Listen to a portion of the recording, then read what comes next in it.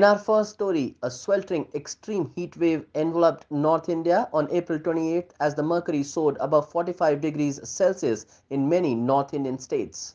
The Indian Meteorological Department has issued an orange alert for five states including Rajasthan, Delhi, Haryana, Uttar Pradesh and Odisha as an extreme heat wave swept across the northern states of India on April 28.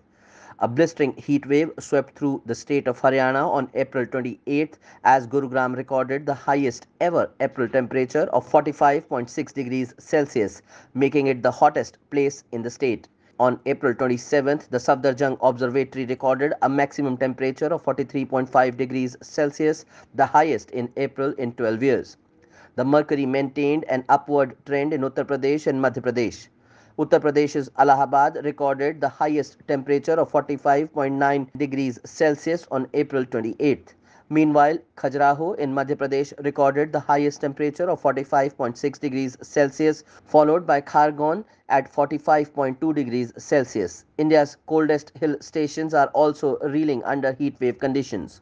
Kashmir's winter capital, Jammu, recorded its hottest day in April 27th with the mercury touching 40 degrees Celsius.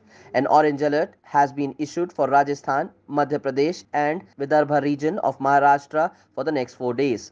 The orange alert is an advance warning for the residents to stay prepared. The IMD has predicted heat wave conditions for parts of north and central India for the next five days with good news for a likely improvement later.